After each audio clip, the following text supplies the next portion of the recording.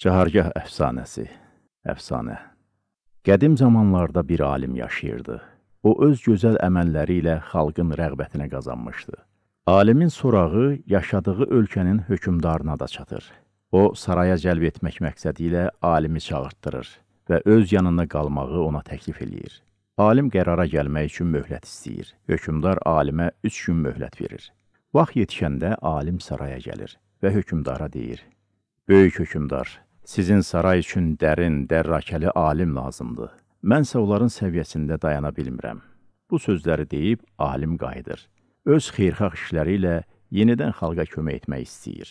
Alimin cavabı, dikbaşlığı, açıq sözü hökmdarı hirsləndirir. Şah səxavətinin, firavan saray həyatının qiymətləndirilməməsini nankorluq hesab eləyir. Hökmdar vəziri yanına çağırıb, ondan alimin hərəkətlərinə tədbirlə cavab verməsini tələb eləyir. Vəzir deyir, alimin əvvəlcə cahilliyini sübut edib xalqın gözündən salmaq lazımdır. Vəzirin niyyəti çətin suallarla alimi çıxılmaz vəziyyətə salıb xalqın gözündə kiçiltmək idi. Sualları hazırlamaq üçün vəzir 40 gün möhlət istəyir. 40 gün keçəndən sonra suallar hazır olur. Hökmdar adamları meydana toplayır. Alimi çağırırlar. Hər şey hazır olur. Alim təmkinlə hökmdarı dinləyir. Hökümdar alimə deyir, sən öz əllaməliyinlə xalq alladırsan, sən heç də alim deyilsən. Sənə vəzirim suallar hazırlayıb. Sən bu suallara cavab versən, alimliyini sübut etmiş olacaqsan. Alim cürətlə deyir, buyurun, suallarınızı verin. Hökümdar vəzirinə işarə eləyir. Vəzir suallara başlayır. Ulu dağın başından buraxılmış bir qoz, zümzümə bulağına qədər neçə dəfə fırlanar? Alim gülə-gülə deyir, Mən sualın cavabını verməyə hazıram. Sizsə Ulu dağdan Zümzümə bulağına qədər olan yolun nə qədər olduğunu, dağın nə qədər mailli olmasını, bir də qozun həcmini deyin. Cəmaat alimin cavabını alqışlayır. Hökümdar və vəziri alimlə bacarmayacaqlarını görüb məyus olurlar. Artıq sual vermək fikrindən vaz keçirlər. Biabır olmaq istəmirlər. Alim evə yollanır. Ancaq onu evə getməyə qoymurlar. Başqa ölkəyə gedən karvana qoşurlar. Onlar yaxşı bilirlər ki, hökmdar bu heyfi alimdən çıxacaq.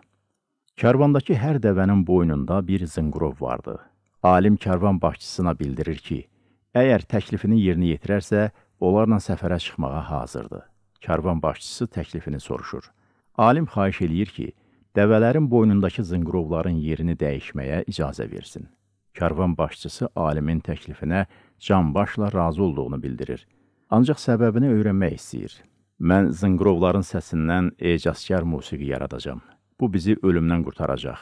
Bəli, alim zınqrovları dəvələrin boynundan elə asır ki, dəvə hər addım atanda sanki mizrab bir neçə telə dəyir. Zınqrovlar səsləndikcə onlardan yaranan musiqi dalğa-dalğa ətrafa yayılır. Hamı alimin bu məharətinə heyran qalır. Gecə öz yuvalarına çəkilən quşlar musiqinin səsindən vəcdə gəlib karvanın üstü ilə uçurlar. Musiqinin səsindən, onun dalğasından ağacların yarpaqları rəqsə gəlir. Axşamdan bükülən güllər yenidən ləçəylənib ətir saçır. Sizə kimdən xəbər verim? Hökümdardan. Saraya çatan kimi alimin onun hüzuruna gətirilməsini tələb eləyir. Alimi nə qədər axtarırlarsa da tapa bilmirlər. Hökümdar bir bölük atlını karvanın dalınca göndərir. Atlılar karvana yetişəndə gözəl musiqi səsi eşidir və bihuş olurlar.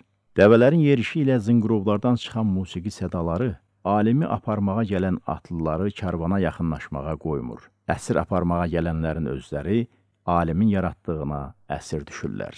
Birdən atlılar elə bil yuxudan oyanıb görürlər ki, artıq başqa ölkənin ərazisindədirlər.